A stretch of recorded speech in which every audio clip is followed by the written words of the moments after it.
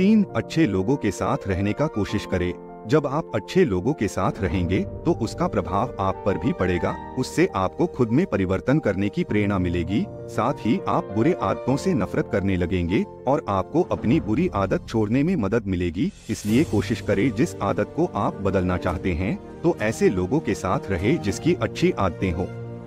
चार बुरी आदत के अंजाम के बारे में सोचे, हर बुरी आदत का अंजाम बुरा ही होता है।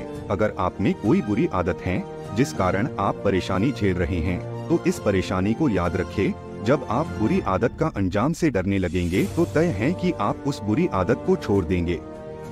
नई आदत डाले। अधिकतर एक्सपर्ट मानते हैं कि किसी भी खराब आदत से छुटकारा पाने के लिए हमें एक नई अच्छी आदत डालनी होगी। मतलब कि अगर हम अपनी किसी खराब आदत से बहुत परेशान हैं, जो हमको सफल होने से रोक रही है तो हमको उस आदत को रोकने या उस आदत से होने वाले नुकसानों से ज़्यादा एक ऐसी नई अच्छी आदत अपनानी होगी। एक ऐसी अच्छी नई आदत के फायदों के बारे में सोचना होगा जो हमें सफलता की ओर ले जा सके।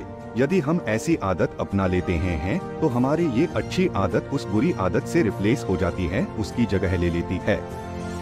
छह अपनी गलती स्वीकार करें। अच्छे लोग या सफलता प्राप्त कर चुके लोग ये जानते हैं कि समय का उनके जीवन में बहुत महत्व है, इसीलिए उन्हें जरा भी समय व्यर्थ गवाना पसंद नहीं होता है।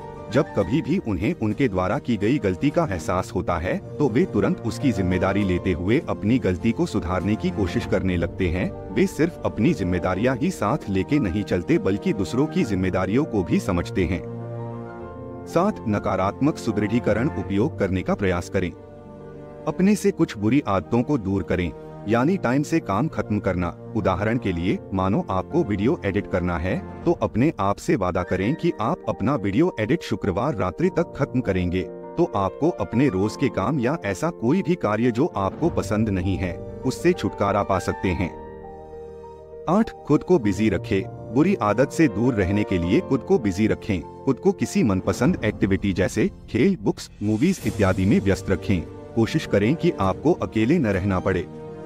नौ विश्लेषण करें कोई भी आदत आपको कितना प्रभावित करती है उसका विश्लेषण करना भी बहुत ज़रूरी होता है जो चीज़ें हमारे दिमाग में बार बार चलती रहती हैं, वे आदत का रूप ले लेती हैं, इसलिए किसी ऐसी चीज़ की ओर ध्यान लगाएँ जो अच्छा हो।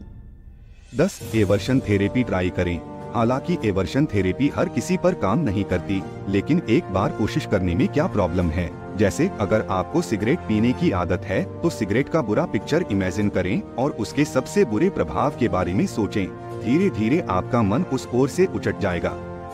तो दोस्तों, ये कुछ ऐसे तरीके थे, जो आपको जीवन में कभी भी कमज़ोर नहीं बनने देंगे। मैं चाहता हूँ आप वादा करें कि आप बुरी आदतें छोड़ने के लिए पूरी कोशिश करेंगे। अगर आप वादा करते हैं तो कमेंट में चैलेंज एक्सेप्टेड ज़रूर लिखे। मिलते हैं अगले वीडियो में। धन्यवाद।